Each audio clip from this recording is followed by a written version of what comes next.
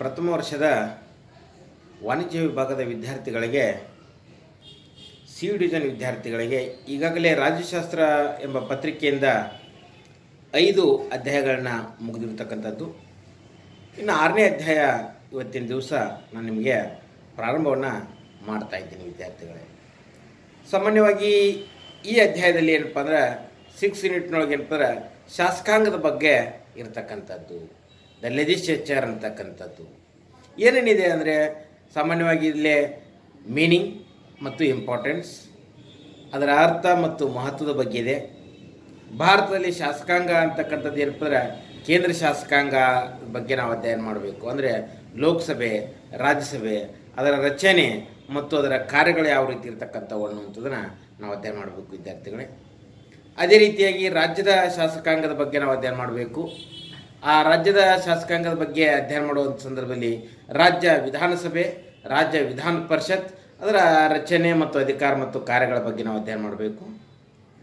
ಮತ್ತು ಶಾಸನ ಏನಪ್ಪ ರಚನೆ ವಿಧಾನ ಯಾವ ರೀತಿ ಇದೆ ಅನ್ನುವಂಥದ್ದನ್ನು ದ ಮೆಥಡ್ ಆಫ್ ಏನಪ್ಪ ಅಂದ್ರೆ ಅಮೆಂಡ್ಮೆಂಟ್ ಬಗ್ಗೆ, ಶಾಸನ ಬಗ್ಗೆ, ತಿದ್ದುಪಡಿಗಳ ಬಗ್ಗೆ ಮತ್ತು ಏನಪ್ಪ ಅಂದ್ರೆ ಈ ಲಾಗಗಳ ಬಗ್ಗೆ ನಾವೇನು ಮಾಡಬೇಕು, ಅಧ್ಯಯನ ಮಾಡಬೇಕಾಗಿದೆ. ಇಷ್ಟು ಏನಪ್ಪ ಅಂತ ಈ ಆರನೇ ಸ ಏನಪ್ಪ ಅಂದ್ರೆ ಯೂನಿಟ್ನೊಳಗೆ ಬರ್ತಕ್ಕಂಥ ನಮಗೆ ಪಠ್ಯಕ್ರಮ ಆಗಿರ್ತಕ್ಕಂಥದ್ದು ಈಗಾಗಲೇ ಹೇಳಿದಾಗ ಏನಪ್ಪ ಅಂದ್ರೆ ಐದು ಚಾಪ್ಟರ್ಗಳನ್ನ ಮುಗಿಸಿ ಆರನೇ ಚಾಪ್ಟರ್ನ ಇವತ್ತಿನ ದಿವಸ ನಾನು ನಿಮಗೆ ಪ್ರಾರಂಭವನ್ನು ಮಾಡ್ತಾ ಇದ್ದೀನಿ, ವಿದ್ಯಾರ್ಥಿಗಳೇ. ರಾಜ್ಯದ ಏನಪ್ಪ ಅಂದ್ರೆ ಉದ್ದೇಶಗಳ ಕಾರ್ಯರೂಪಕ್ಕೆ ತರಬೇಕು. ರಾಜ್ಯದೊಳಗೆ ಏನಪ್ಪ ಹಲವಾರು ಉದ್ದೇಶಗಳದಾವೆ.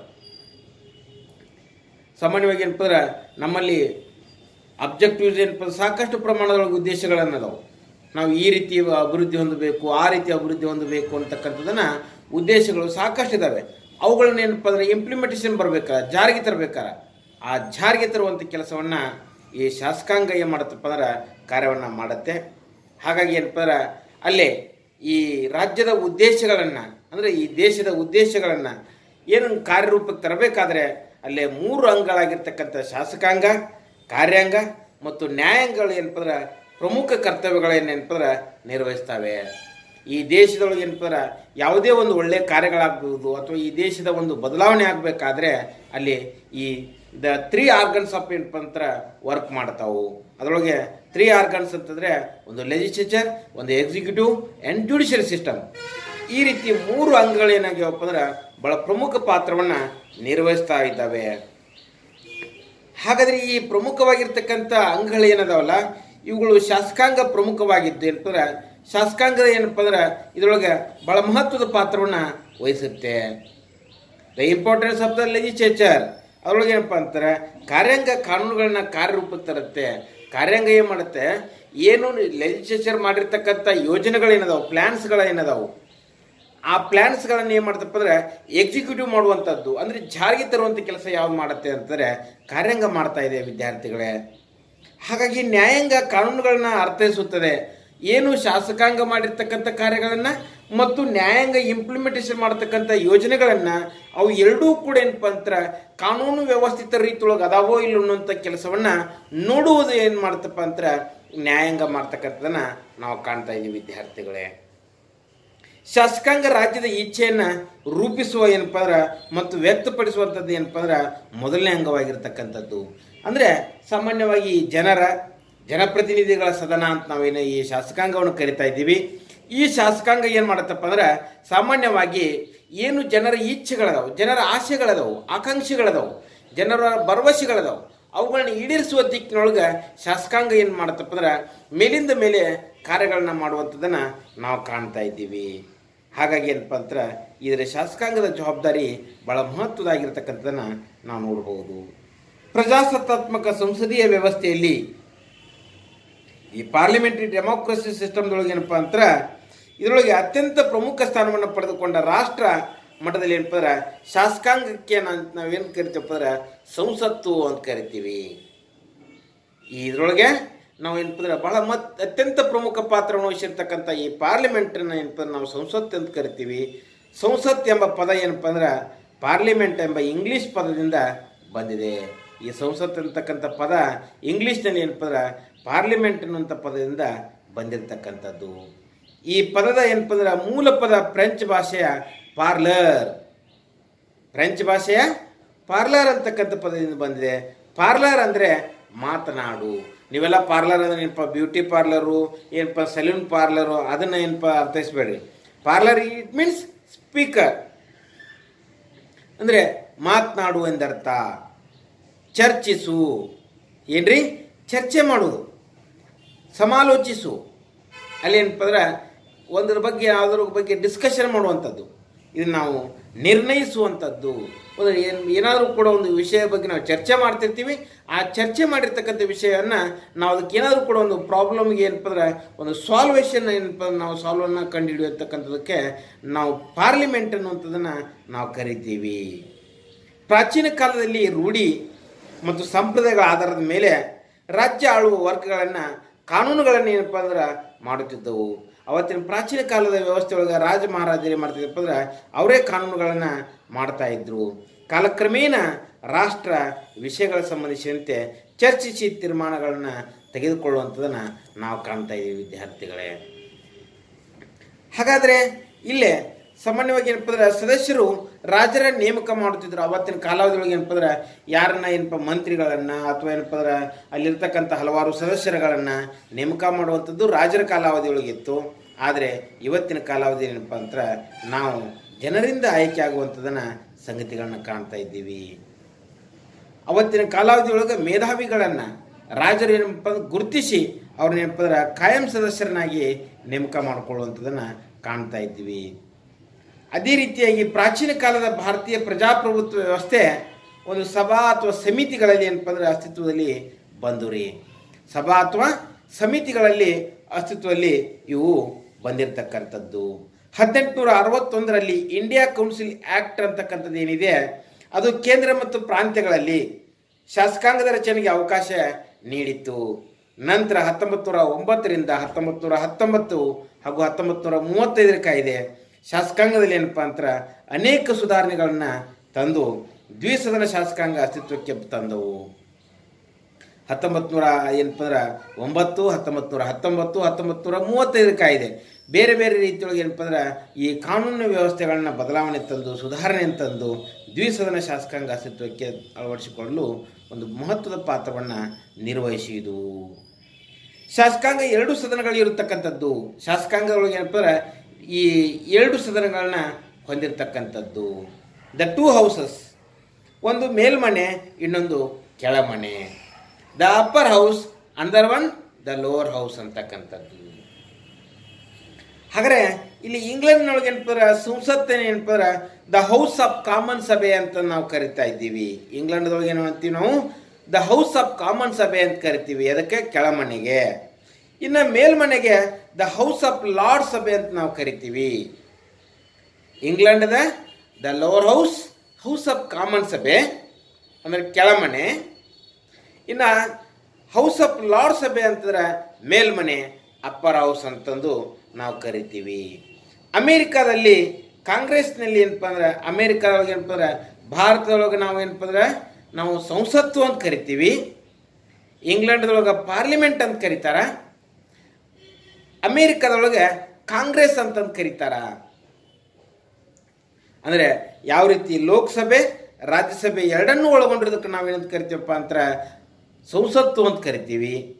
ಅದೇ ರೀತಿ ಇಂಗ್ಲೆಂಡ್ದೊಳಗೆ ಏನಪ್ಪ ಅಂತ ಯಾವ ಹೌಸ್ ಆಫ್ ಕಾಮನ್ ಸಭೆ ಮತ್ತು ಹೌಸ್ ಆಫ್ ಲಾರ್ಡ್ ಸಭೆ ಎರಡನ್ನು ಒಳಗೊಂಡಿರೋದಕ್ಕೆ ಪಾರ್ಲಿಮೆಂಟ್ ಅಂತ ಕರೀತಾರ. ಅದೇ ರೀತಿ ಒಳಗೆ ಅಮೇರಿಕಾದೊಳಗೆ ಏನಪ್ಪ ಅಂತ ನಾವು ಕಾಂಗ್ರೆಸ್ ಅಂತ ಕರಿತೀವಿ. ಅಲ್ಲಿಯೂ ಕೂಡ ಏನಪ್ಪ ಅಂತ ಸೆನೆಟ್ ಅನ್ನುವಂಥದ್ದು ಒಂದು ಮನೆ ಇದೆ, ಇನ್ನೊಂದು ಪ್ರತಿನಿಧಿ ಸಭೆ. ಸೆನೆಟ್ ಸಭೆ, ಮೇಲ್ಮನೆ ಸಭೆ ಅಪ್ಪರ್ ಹೌಸ್ ಮತ್ತು ಪ್ರತಿನಿಧಿ ಸಭೆ, ಕೆಳಮನೆ ಸಭೆ. ದ ಲೋವರ್ ಹೌಸ್ ಅಂತಂದು ಕರಿತೀವಿ. ಇವು ಎರಡನ್ನೂ ಒಳಗೊಂಡಿರೋದಕ್ಕೆ ನಾವೇನು ಕರಿತೀವಿ ರೀ ಇಟ್ಸ್ ಎ ಕಾಂಗ್ರೆಸ್ ಅಂತ ಕರಿತೀವಿ ರೀ ಅದೇ ರೀತಿಯಾಗಿ ಭಾರತದೊಳಗೆ ಮೇಲ್ಮನೆಯಾಗಿರುವ Rajya Sabha the upper house the next Lok Sabha ಇದು ಕೆಳಮನೆ ಅಂತ ಕರಿತೀವಿ, ಇದಕ್ಕೆ ಲೋವರ್ ಹೌಸ್ ಅಂತನ್ನುವಂಥದ್ದನ್ನು ನಾವು ಕರಿತೀವಿ ವಿದ್ಯಾರ್ಥಿಗಳೇ. ಇಷ್ಟು ಏನಪ್ಪ ಅಂದ್ರೆ ಈ ಪಾರ್ಲಿಮೆಂಟಿನ ಬಗ್ಗೆ ನಾವೇನು ಮಾಡ್ಬೋದು, ಕಂಡುಕೊಳ್ಬೋದು.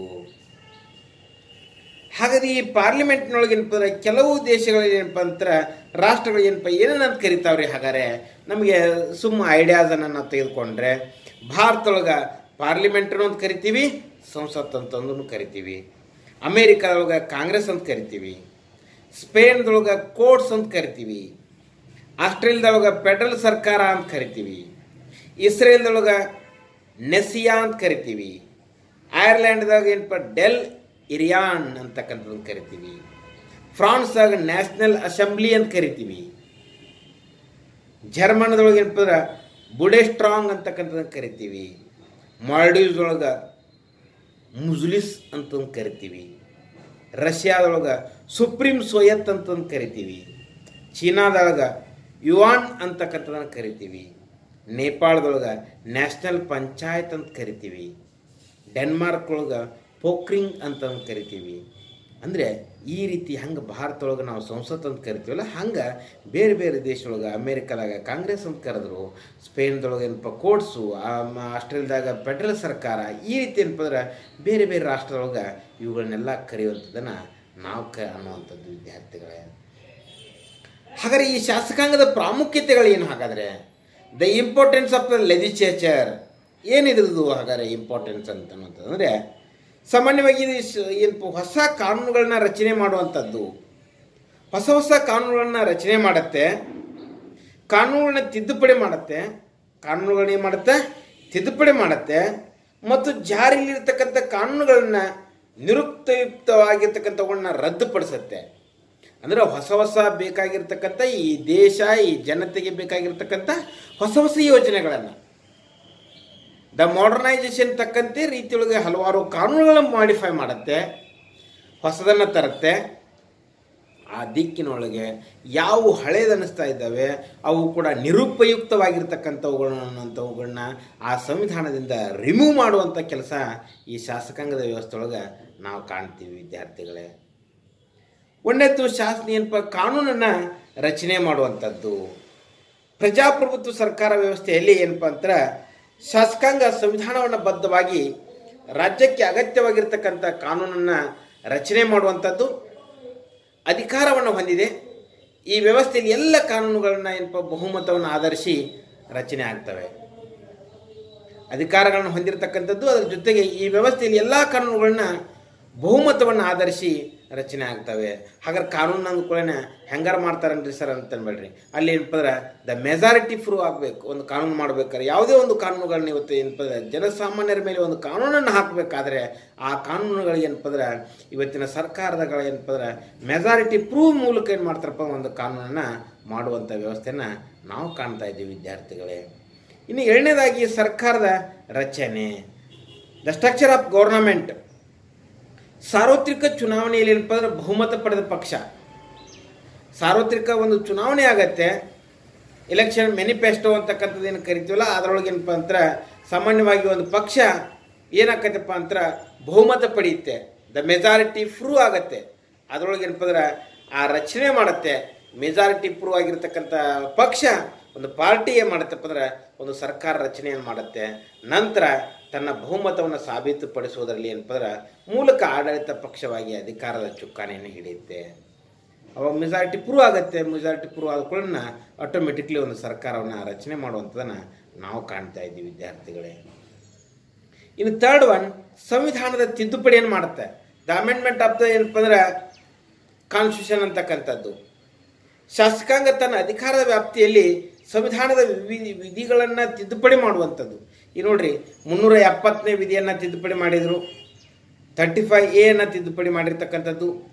ಈ ರೀತಿ ಹಲವಾರು ತಿದ್ದುಪಡಿಗಳನ್ನ ನಾವು ಏನಪ್ಪ ಅಂದ್ರೆ, ಕಾಲಕಾಲಕ್ಕೆ ತಕ್ಕಂತೆ ಕಾಲಕಾಲಕ್ಕೆ ತಕ್ಕಂತೆ ಏನಪ್ಪ ಅಂದ್ರೆ, ಹೊಸ ಹೊಸ ಕಾನೂನುಗಳನ್ನ ರಚನೆ ಮಾಡುವಂಥದ್ದು, ಆ ಹೊಸ ವಿಧಿಗಳನ್ನ ಸೇರಿಸುವುದು ಪ್ರತಿಕ್ರಿಯೆ ಪ್ರಕ್ರಿಯೆಗಳನ್ನ ಕೈಗೊಳ್ಳುವಂಥದ್ದನ್ನು ನಾವು ಕಾಣ್ತಾ ಇದ್ದೀವಿ ವಿದ್ಯಾರ್ಥಿಗಳೇ. ಇಷ್ಟೇನಪ್ಪ ಅಂದ್ರೆ ಹೊಸ ಹೊಸ ವಿಚಾರಗಳನ್ನ, ಹೊಸ ಹೊಸ ಸಂಗತಿಗಳನ್ನ ಏನು ಮಾಡ್ತಪ್ಪ ಅಂದ್ರೆ ಈ ಭಾರತದ ಸಂವಿಧಾನದ ತಿದ್ದುಪಡಿಗಳನ್ನ ಮಾಡುವಂಥ ಕೆಲಸ ಯಾವ್ದು ಮಾಡುತ್ತೆ ಅಂದರೆ ಶಾಸಕಾಂಗ ಮಾಡತಕ್ಕಂಥದ್ದನ್ನು ಕಾಣ್ತೀವಿ.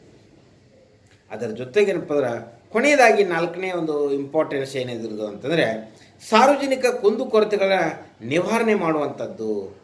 ಸಾರ್ವಜನಿಕ ಕುಂದುಕೊರತೆಗಳನ್ನು ಏನದಾವು? ಸಾರ್ವಜನಿಕರಿಗೆ ಹಲವಾರು ಏನಪ್ಪ ಸಮಸ್ಯೆಗಳಿದಾವೆ. ಅವುಗಳು ಏನದಾವು? ಎನ್ ಅವನ್ನ ನಿವಾರಿಸೋದು ಯಾವ ರೀತಿ ಅಂತಕ್ಕಂಥದ್ದನ್ನು ನೋಡುವಂಥದ್ದು. ಅಂದರೆ ಶಾಸಕಾಂಗ ನಾಗರಿಕರಿಗೆ ಕುಂದುಕೊರತೆಗಳನ್ನು ಬಹಿರಂಗವಾಗಿ ಚರ್ಚಿಸುವ ಪ್ರಮುಖ ವೇದಿಕೆ ಆಗಿರ್ತಕ್ಕಂಥದ್ದು.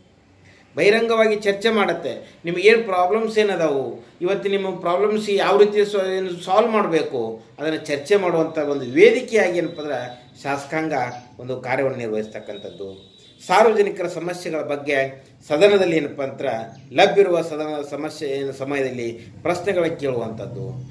ನೋಡ್ರಿ ಇಂತಿಂಥ ನಮ್ಮೆಲ್ಲ ಕ್ಷೇತ್ರಗಳಲ್ಲಿ ಇಂತಿಂಥ ಪ್ರಾಬ್ಲಮ್ಸ್ ಅದಾವು. ಅವುಗಳನ್ನ ಸಾಲ್ವ್ ಮಾಡಬೇಕಾದ್ರೆ ಇಷ್ಟೆಲ್ಲ ಅನುದಾನ ಬೇಕಾಗತ್ತೆ. ಮತ್ತು ಅದಕ್ಕೆ ಇಂಥ ಎಲ್ಲ ಏನಪ್ಪ ಅಂದ್ರೆ, ಒಂದು ಮಾಡಿಫೈ ಆಗಿರ್ತಕ್ಕಂಥ ರೀತಿಯೊಳಗೆ ಏನಪ್ಪಾರ ಒಂದು ಹೊಸ ಯೋಜನೆ ತರಬೇಕಾಕತಿ ಅಂತ ಏನು ಮಾಡ್ತಾವಪ್ಪ ಅಂದ್ರೆ ಸೆಷನ್ದೊಳಗೆ ಏನಪ್ಪ ಚರ್ಚೆ ಮಾಡುವಂಥದ್ದು ಕೂಡ ಶಾಸಕಾಂಗದ ಕೆಲಸ. ಅದೇ ರೀತಿಯಾಗಿ ಏನಪ್ಪ ಅಂದ್ರೆ, ಇಡೀ ಸದನದ ಮುಂದೆ ಆ ಸಾರ್ವಜನಿಕರ ಸಮಸ್ಯೆಯನ್ನು ಏನಪ್ಪ ಅಂದ್ರೆ, ಎಳೆ ಎಳೆಯಾಗಿ ಬಿಡಿಸುವುದರಿಂದ ಏನಪ್ಪ ಅಂದ್ರೆ, ಇನ್ನುಳಿದ ಎಲ್ಲ ಶಾಸಕರ ಮುಂದೆ ಅಥವಾ ಏನಪ್ಪ ಅಂದ್ರೆ ಸಂಸತ್ ಸದಸ್ಯರ ಮುಂದೆ ಗಮನವನ್ನು ಸೆಳೆಯತಕ್ಕಂಥ ಕೆಲಸ ಆ ಶಾಸಕಾಂಗ ಮಾಡತಕ್ಕಂಥದ್ದು. ಅದೇ ರೀತಿಯಾಗಿ ಏನಪ್ಪ ಅಂದ್ರೆ, ರಾಷ್ಟ್ರೀಯ ಮತ್ತು ತುರ್ತು ಸಾರ್ವಜನಿಕ ವಿಷಯಗಳ ಬಗ್ಗೆ ಚರ್ಚೆ ಮಾಡುವಂಥದ್ದು. ಏನಾದರೂ ಕೂಡ ರಾಷ್ಟ್ರೀಯ ವಿಷಯಗಳ ಬಗ್ಗೆ, ಒಂದು ನ್ಯಾಷನಲ್ ಇಶ್ಯೂ ಇರತಕ್ಕಂಥವು ಇರ್ತಾವೆ ಅಂಥದ್ರ ಬಗ್ಗೆ ಚರ್ಚೆ ಮಾಡುವಂಥದ್ದು. ತುರ್ತು ಸಾರ್ವಜನಿಕ ಸೇವೆ ಅಂತಕ್ಕಂಥ ಈಗ ನೋಡ್ರಿ ಮೆಡಿಕಲ್ ಎಮರ್ಜೆನ್ಸಿ ಅಂತ ನಾವು ಕರಿತಾ ಇದ್ದೀವಿ. ಈಗ ಕೊರೋನಾ ಮಹಾಮಾರಿ ವ್ಯವಸ್ಥೆ ಒಳಗೆ ಏನಪ್ಪ ಅಂದ್ರೆ ಮೆಡಿಕಲ್ ಎಮರ್ಜೆನ್ಸಿ ಇದ್ರ ಬಗ್ಗೆ ಏನಪ್ಪ ಅಂದ್ರೆ ಒಂದು ಸದನದೊಳಗೆ ಏನಪ್ಪ ಅಂದ್ರೆ ಮಹತ್ವದ ಚರ್ಚೆ ಮಾಡೋದು. ಏನು ಮಾಡಬೇಕು? ಇವತ್ತು ಆಕ್ಸಿಜನ್ ಕೊರತೆ ಇದೆ. ಬೇರೆ ಬೇರೆ ರೀತಿಯ ಪ್ರಾಬ್ಲಮ್ಸ್ ಬರ್ತಾ ಇದ್ದಾವೆ. ಅವನ್ನ ಯಾವ ರೀತಿ ನಾವು ಸಾಲ್ವ್ ಮಾಡಬೇಕು? ಅವು ಸಾಲ್ವ್ ಆಗಬೇಕಾದ್ರೆ ಏನೆಲ್ಲ ಕ್ರಮಗಳನ್ನ ಕೈಗೊಳ್ಳಬೇಕು ಅನ್ನೋದನ್ನ ಒಬ್ಬರು ಒಬ್ಬ ವ್ಯಕ್ತಿ ಮಾಡೋದಕ್ಕಿಂತಲೂ ಏನಪ್ಪ ಅಂದ್ರೆ, ಇಲ್ಲಿ ಸಂಸತ್ ಸದಸ್ಯರಲ್ಲಿ ಇರ್ತಕ್ಕಂಥ ಎಲ್ಲರಿಗೂ ಜೊತೆ ಚರ್ಚೆ ಮಾಡಿದಾಗ ಏನಪ್ಪ ಆ ಒಂದು ಪ್ರಾಬ್ಲಮ್ಸಿಗೆ ಏನಪ್ಪ ಅಂದ್ರೆ, ಒಂದು ಅಲ್ಟಿಮೇಟ್ಲಿ ಒಂದು ಏನಪ್ಪ ಒಳ್ಳೆಯ ಒಂದು ಗುಡ್ ರಿಸಲ್ಟನ್ನು ನಾವು ಕಂಡುಕೊಳ್ಳಿಕ್ಕೆ ಸಾಧ್ಯ ಅನ್ನೋಂಥನ್ನು ನಾವೇನು ಮಾಡ್ಬೋದು? ಇಲ್ಲಿ ಇಂಪಾರ್ಟೆನ್ಸ್ನೊಳಗೆ ಕಾಣ್ಬೋದು ವಿದ್ಯಾರ್ಥಿಗಳೇ. ಇಷ್ಟು ಏನಪ್ಪ ಅಂದ್ರೆ ಶಾಸಕಾಂಗದ ಒಂದು ಪ್ರಾಮುಖ್ಯತೆಯನ್ನು ನಾವು ಕಂಡುಕೊಳ್ತಾ ಇದ್ದೀವಿ, ವಿದ್ಯಾರ್ಥಿಗಳೇ. ಇನ್ನು ಭಾರತದಲ್ಲಿ ಏನಪ್ಪ ಅಂದ್ರೆ ಶಾಸಕಾಂಗ, ಅದು ಕೇಂದ್ರ ಶಾಸಕಾಂಗ ಯಾವ ರೀತಿ ಕೆಲಸ ಮಾಡುತ್ತೆ ಅನ್ನೋಂಥದ್ದನ್ನು ನಿಮಗೆ ನಾಳೆ ಕ್ಲಾಸ್ನೊಳಗೆ ಏನಪ್ಪ ಅಂದ್ರೆ ನಾನು ಹೇಳ್ತೀನಿ. Thank you